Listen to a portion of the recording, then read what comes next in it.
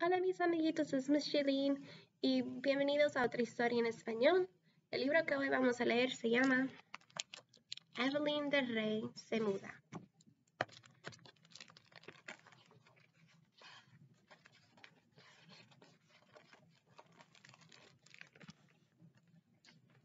Evelyn del Rey es mi mejor amiga, la número uno. Daniela, ven a jugar, dice como siempre, como si el día de hoy fuese un día como los demás. Así que me abrigo bien y cruzo la calle.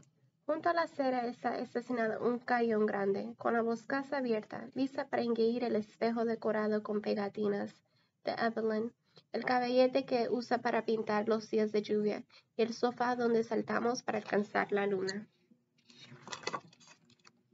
Ella me espera detrás de la puerta de hierro. Entonces subimos los escalones de dos en dos como siempre.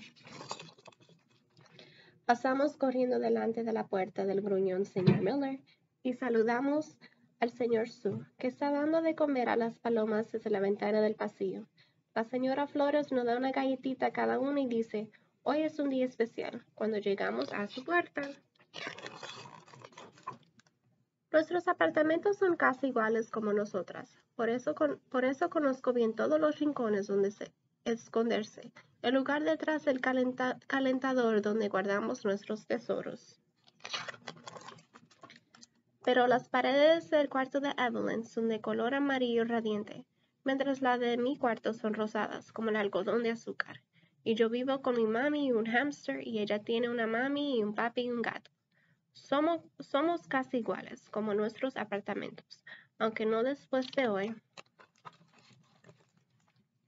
Encontraremos una caja vacía cerca de la puerta. En un instante soy una conductora de autobús que recoge toda la ciudad. Jugamos hasta que las mesas que eran las paredes desaparecen y las camas que eran rascacielos se parecen también. Cuando miramos a nuestro alrededor, todo ha desaparecido, excepto nosotros. Pronto el camión se aleja rugiendo y alguien toca la puerta. A esconderse, decimos riéndonos, como siempre. Pero nuestras mamás nos ven antes de que podemos escubrirnos. Ya es hora de irnos, dice mami. Evelyn y yo nos agarramos de las manos en ese espacio ancho y vacío. Nos echamos hacia atrás y comenzamos a dar vueltas en círculo más y más rápido, y todo a nuestro alrededor se nubla. Nuestros dedos se deshilan, pero no nos saltamos hasta que tambaleonamos, caemos al piso. Podemos hablar todos los días después de la escuela, le digo, aunque el mundo no para de girar a nuestro alrededor. Y tú puedes visitarme en el verano, dice ella, y quedarte a dormir. Pero yo sé que mañana todo será diferente. Evelina estará en una casa nueva que no se parece a la mía.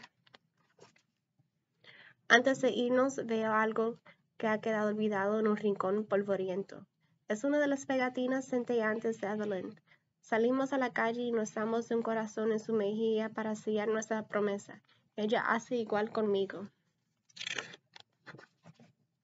Decimos patatata mientras mamis no toma una foto. Una vez más nos damos nuestro apretotón de manos secreto.